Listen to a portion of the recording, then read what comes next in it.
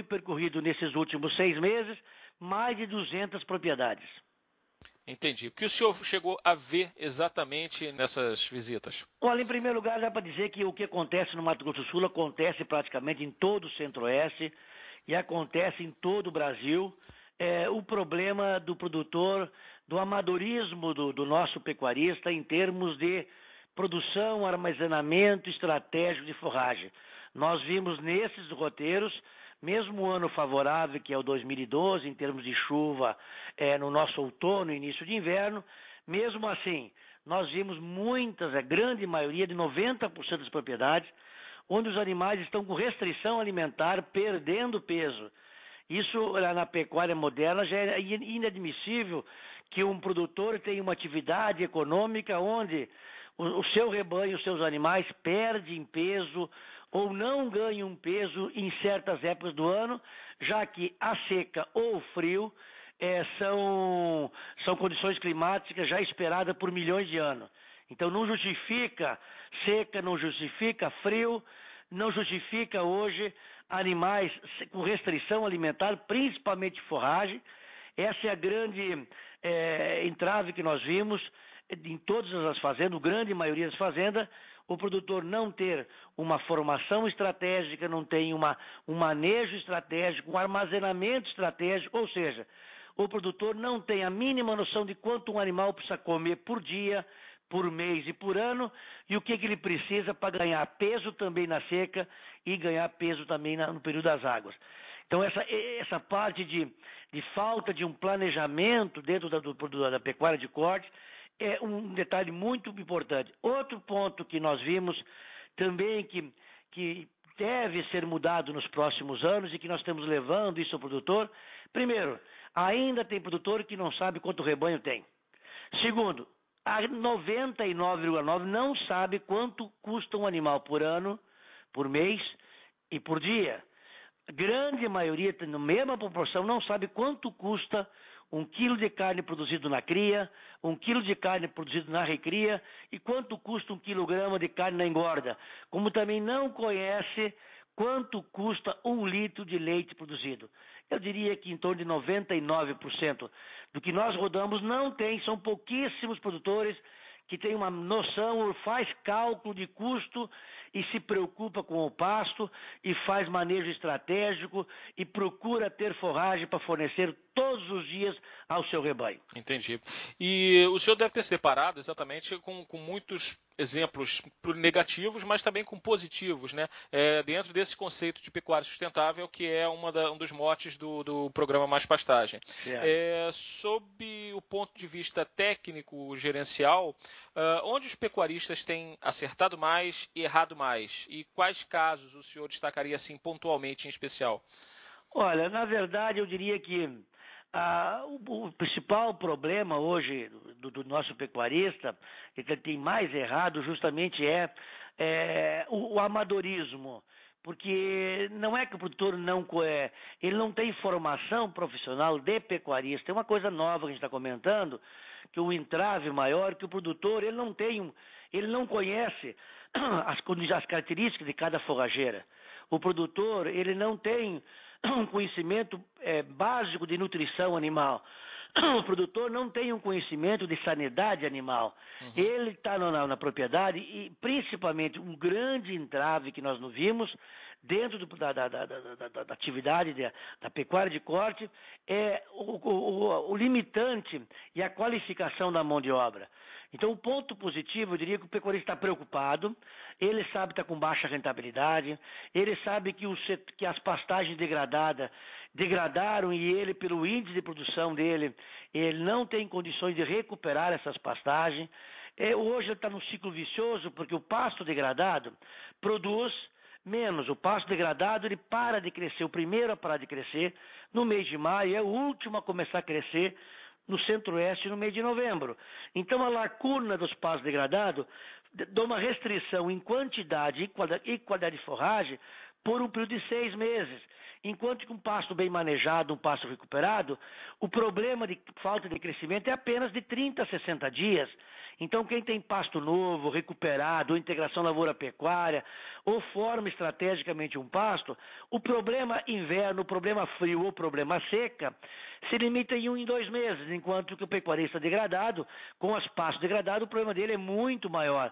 E aí ele tem baixa produtividade, animais tardios, ele muitas vezes usa suplemento para mantença de peso, usa suplemento de ração para conseguir entorar novilhas, ou seja, ele gasta produto nobre para completar ou, ou substituir a forragem que não existe.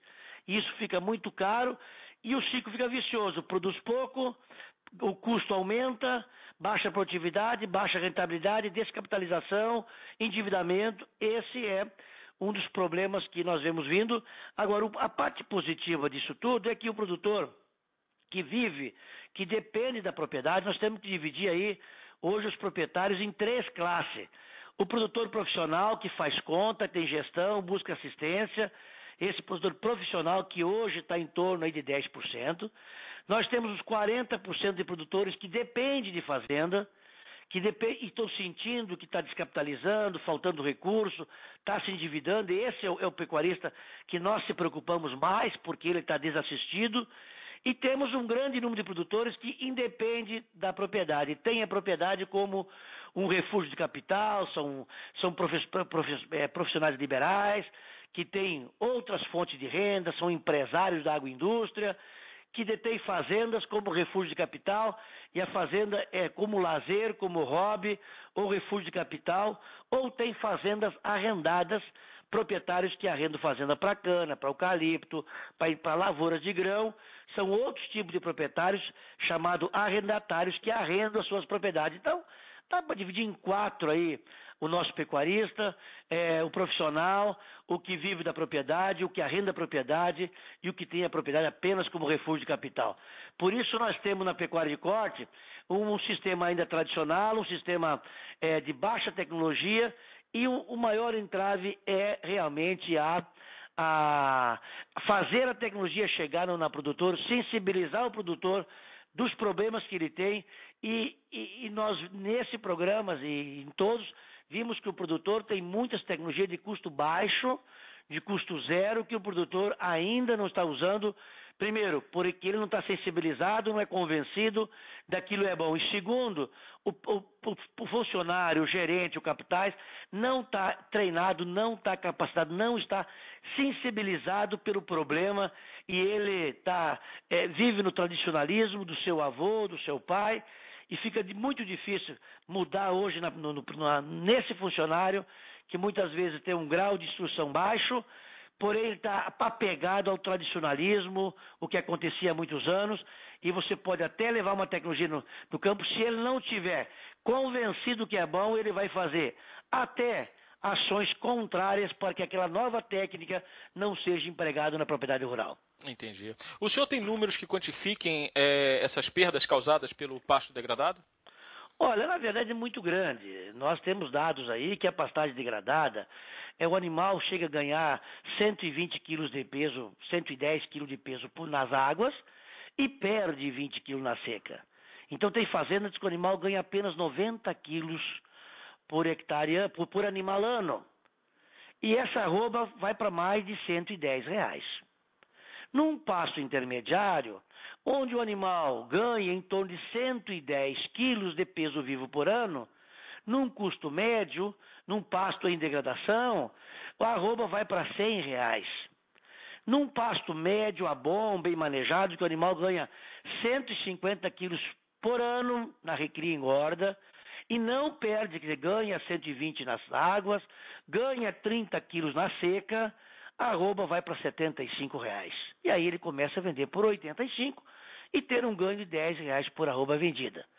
E temos sistemas integrados, onde é sistemas profissionais, rotação de cultura, pastagens novas, extremamente nutrida, com reserva de feno, silagem, capineira, suplementação, semi-confinamento e confinamento, chegamos a uma arroba de 60 reais. Então, esses são números hoje. Pasto degradado não significa prejuízo, desde que o produtor ajuste a carga animal, e aí vem um grande diferencial, que nós estamos colocando, e o produtor também está vendo, que não adianta ter 10 mil cabeças perdendo peso. Então eu brinco, não adianta ter mil animais produzindo bezerros pequenos, baixo índice de prenhez, 60% de desmame, bezerro de 170 quilos, é prejuízo. É preferível ter menos animais com mais ganho individual. Então os números mostram que cada fazenda tem seu custo de produção. E eu, para estar tá, o mínimo empatando, eu tenho que saber quanto custa a minha produção e quanto eu estou produzindo. Será que eu estou produzindo o meu custo? O meu empate técnico é, é 6, 7 litros por vaca de leite? É 110 quilos de peso vivo por animal ano? Tem fazendas que 80 quilos pode dar lucro e tem fazendas com 150 quilos por animal ano, às vezes não dá lucro, porque ele tem um alto investimento, tem um baixo, é, um produto em termos de escala, uma baixa escala de produção, um grande custo de mão de obra, infraestrutura, máquina e equipamento, e ele está trabalhando com, com baixa lotação, e aí esse é o problema do pasto degradado. Muitas vezes, é, o que mais ocorre é eu ter animais demais na fazenda. Eu posso ter o pasto degradado, ajustar a carga animal e assim mesmo ganhar dinheiro. Mas o que acontece na grande maioria é que eu não ajusto a carga animal e o meu animal passa a partir de junho a outubro perder peso ou não ganhar peso. Esse é o principal entrave da pecuária de corte. É, e, doutor Armindo, o que tem sido levado para o pecuarista através do Mais Pastagem? Olha, é um baita de um programa. Eu queria aqui colocar, que você colocasse na matéria. Esse é um programa, acho que é pioneiro no Brasil. É um trabalho que feito, idealizado pelo pessoal da FarmaSul, juntamente com a Embrapa, com o recurso do SEBRAE e, a, e, a, e as instituições ligadas à FamaSul, chamado FUNAR e SENAR, que estão fazendo toda essa diferença nesse programa Mais Pastagem, que veio uma grande preocupação. É bom colocar a preocupação que o governo federal, a preocupação do SEBRAE, FamaSul e Embrapa, com a recuperação das pastagens e integração lavoura-pecuária, que são programas do, do ABC, do governo federal, preocupado com a degradação das pastagens e também do meio ambiente, criou um programa aí chamado ABC, que, é, que o ABC nada mais é que uma produção agropecuária com baixa emissão de carbono. Ou seja, reter matéria orgânica, é, produzir, recuperar as áreas degradadas, fazer sistemas integrados. Então, esse programa Mais Pastagem, ele foi criado justamente porque o programa ABC, na recuperação de pastagem, ele prevê, para a grande maioria dos casos, três anos de carência e cinco anos para pagar. Em um juro de 5,5% e com até um milhão de reais por CPF e financia de um prego até animais dentro desse programa. Então é um programa muito bom, juro atrativo, mas a preocupação que aí vem o ponto alto desse programa é que se o produtor trabalhar com a consciência que ele que é normal pasto degradar, que é normal recuperar hoje, daqui 8, 9, 10 anos, ter que recuperar de novo, é normal errar no plantio, errar na formação, errar no manejo, é normal. Para ele, com a inconsciência do amadorismo, a nossa preocupação é que ele recupere os pastos, alguns produtores por falta de informação técnica, no terceiro ano, o passo já esteja degradado e ele não conseguiu pagar ainda a primeira prestação. Então, o programa Mais Pastagem leva três, quatro pontos básicos. Primeiro, sensibilizar o produtor do problema do pasto degradado. Sensibilizar da seguinte maneira: baixa produtividade, baixa rentabilidade, descapitalização e risco de perder uma propriedade, às vezes, de várias gerações familiares por incompetência dele, ele ter que sair da atividade por endividamento. O ter, segunda ameaça, por ele ser improdutivo, ele pode ser desapropriado pelo INCRA. E aí ele também perder uma propriedade familiar. E o terceira ameaça, ser multado pelos órgãos públicos por estar causando degradação ambiental. Então, o primeiro passo é sensibilizar eles ficam muito preocupados, ficam questionados, até alguns produtores não gostam do que estão ouvindo, né? Mas a maneira que nós achamos foi de dar um choque é, emocional no produtor para ver se nós causamos nele um impacto grande e abrir a mente para sensibilizar que ele tem que mudar o sistema de produção que ele está desempenhando. O segundo ponto é mostrar as alternativas de tecnologia, mostrar que a Embrapa tem pastagem de 30 anos recuperada, que hoje cabem 4 animais por hectare, que hoje produz 20 arrobas de carne por hectare, que hoje tem uma receita líquida de 8 a 10 arrobas por hectare.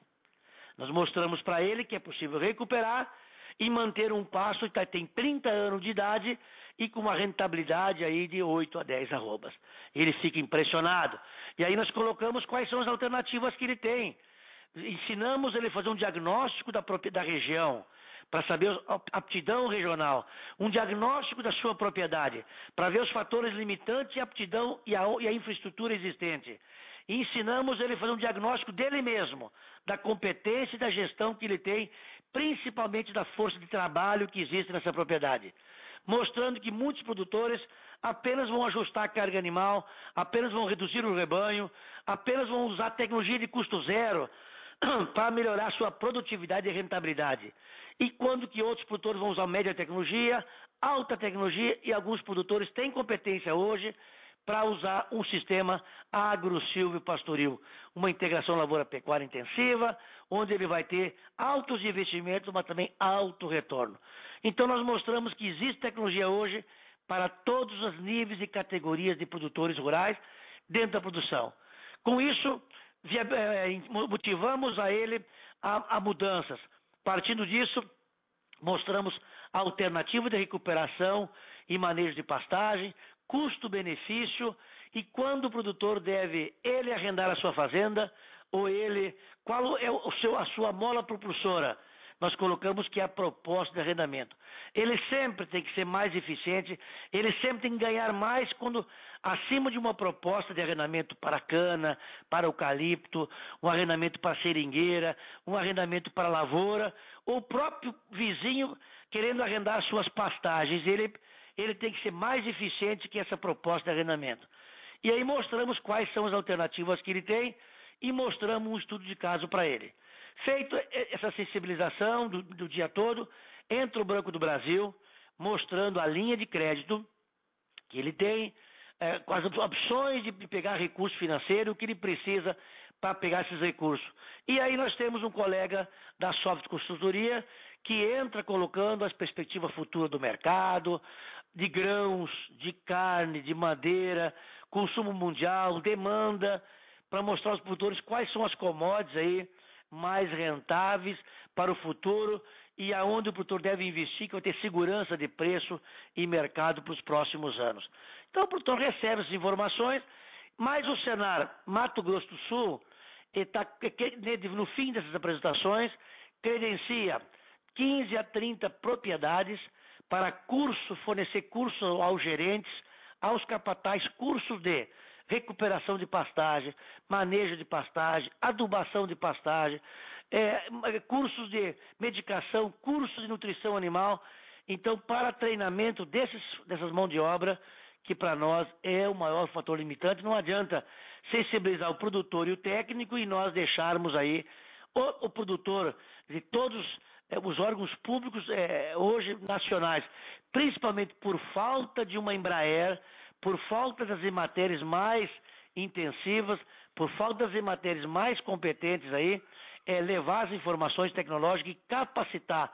Hoje, a, a nosso foco, que nós vimos, não é o foco da Embrapa, porque a Embrapa tem o foco de capacitar técnicos multiplicadores, não tem a função de atender no meio rural. Mas nós levamos isso aos sindicatos rurais, à FamaSul, ao Senar, é, levando essa demanda muito grande de a Embrapa treinar os técnicos e, e, os órgãos estaduais e municipais, entidade de classe, fazer o treinamento do funcionário, do peão, do, do, gerente, do capataz. Realmente quem vai executar essa atividade lá no campo precisa estar treinado, senão nada vai acontecer. Entendi. É, doutor Armindo, como é que está a procura hoje por esses créditos do programa? Olha, na verdade, eu podia dizer para você o seguinte, que os créditos hoje está eh, é, bastante. É, claro que no início o Banco do Brasil e os seus funcionários, bem como os, os escritórios de planejamento, para o, é outro órgão importantíssimo que nós já fizemos alguns treinamentos. Nós precisamos reciclar os agentes que fazem os projetos para o banco. Sim. Os técnicos também têm que se reciclar. Vimos técnicos hoje que fazem projetos que há mais de 10 anos não estão usando as novas tecnologias.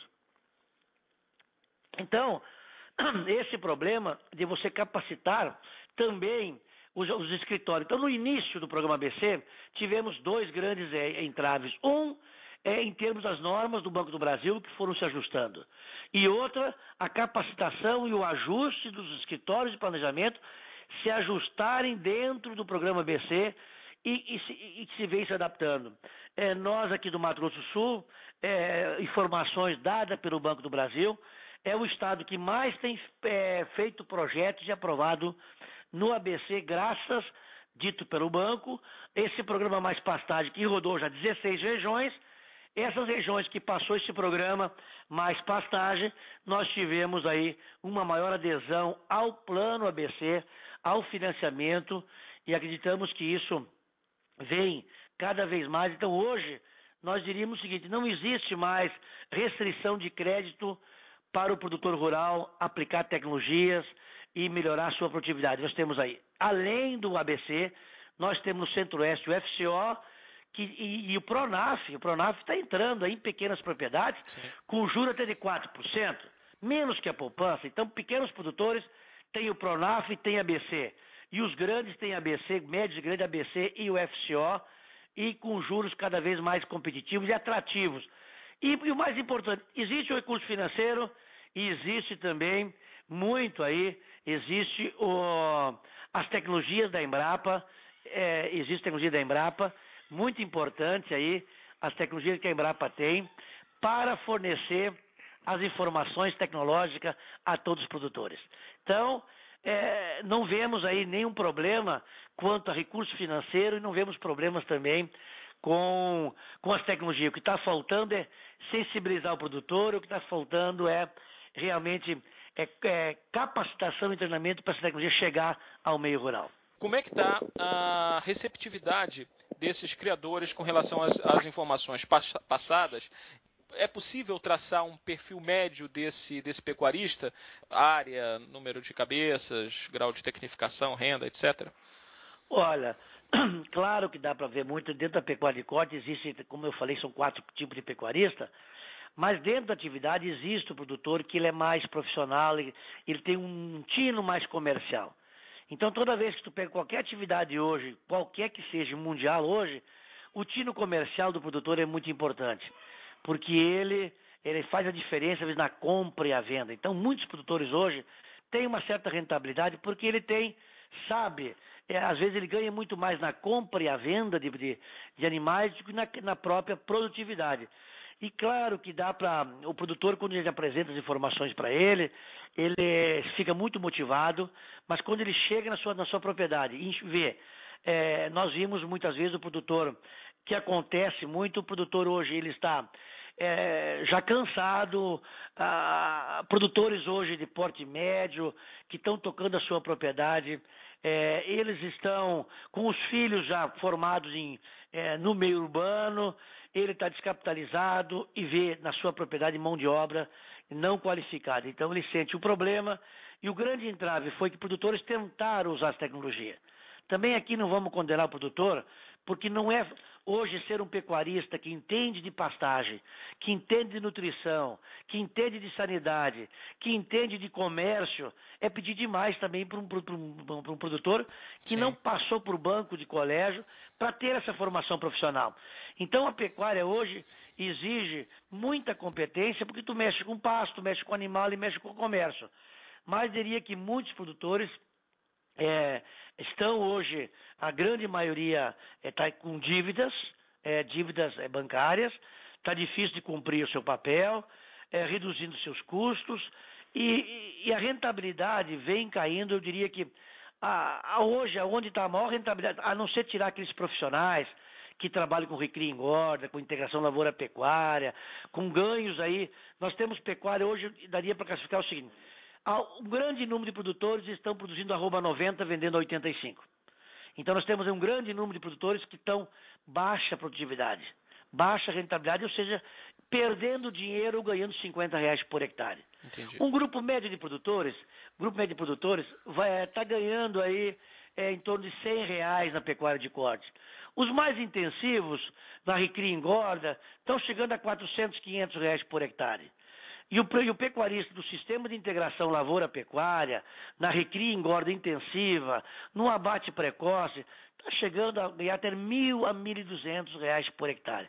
Dentro da pecuária de corte nós temos produtores perdendo 40, 50 reais, se computar o custo pasto, computar depreciação de máquina e equipamento, depreciação de infraestrutura e custo de oportunidade dessa pastagem, nós vamos encontrar um grande volume de produtores tradicionais que na ponta do lápis estão perdendo 50 reais por hectare ano, como tem pouquíssimos no sistema de integração lavoura-pecuária, que pode ultrapassar a mil reais.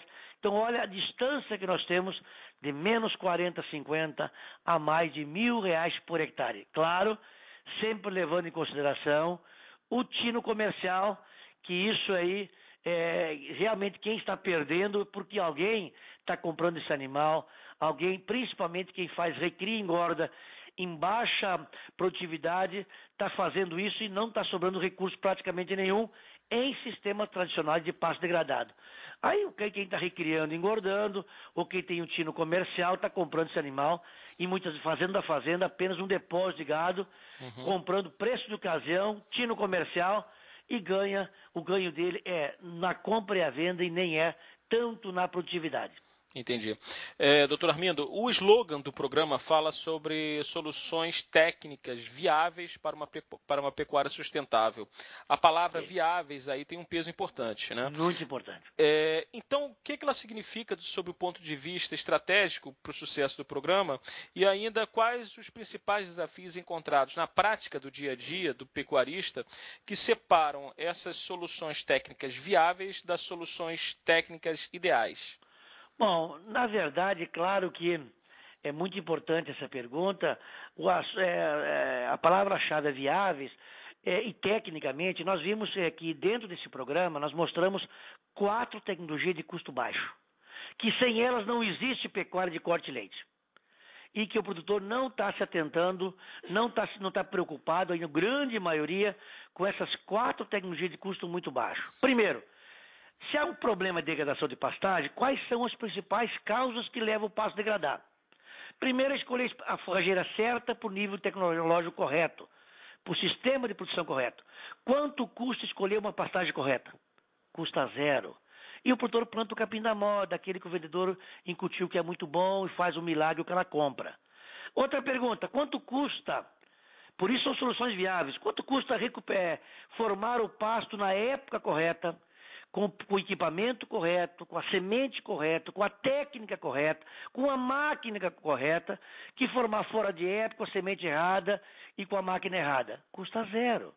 E se eu não tenho uma boa formação de pasto, não vou ter pecuária. Quanto custa não deixar o pasto sementear e quanto custa não deixar o, rapar o pasto no chão? Ajustar a carga animal. O custo é zero. É competência, é saber a altura de entrada, o ajuste de carga animal, a altura de saída, ou seja, eu tenho que ser um profissional de manejo de pasto. Como é que eu vou ter um carro e eu vou comprar um carro e vou sair dirigindo se eu não tenho carteira de motorista ou não sei dirigir? É mais ou menos por aí. Como é que eu sou pecuarista e não manejar pasto é dirigir o pasto? É manejar um carro, é manejar um pasto. E a outra tecnologia de custo zero, quanto custa descartar animais de baixa produção? Zero! E ainda vou fazer caixa para minha empresa. Só que eu, para descartar o animal produtivo, eu tenho que ter balança, eu tenho que numerar, eu tenho que pesar, eu tenho que ter um controle individual dos animais. E para isso, eu tenho que ser profissional. A grande maioria não sabe nem quantos animais tem. Então, técnicas viáveis são essas de custo baixo, e que sem elas não vai ter pecuária de corte e leite. Se eu tenho pasto certo, bem formado, bem manejado de animais produtivos, eu posso dividir, eu posso rotacionar, eu posso dar o melhor vermífugo, o melhor sal mineral, botar a melhor genética, suplementar e confinar e adubar pasto. Se eu tiver os quatro itens básicos. Isso é importante na cartilha e o produtor fica, ele fica até é, é, é, surpreso quando ele sabe que tem quatro tecnologias de custo baixo e ele não está usando as quatro. Muito obrigado.